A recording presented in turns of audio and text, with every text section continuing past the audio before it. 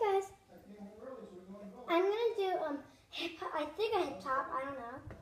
But it's called Stomp Yard. So let's go.